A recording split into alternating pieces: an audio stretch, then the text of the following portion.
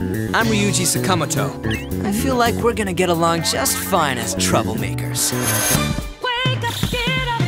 All right, it's settled. What's going on here? Where's the school? With this power, we might be able to do more than just getting back at society. It'll be a big deal. We're gonna change the hearts of all the bastards like you.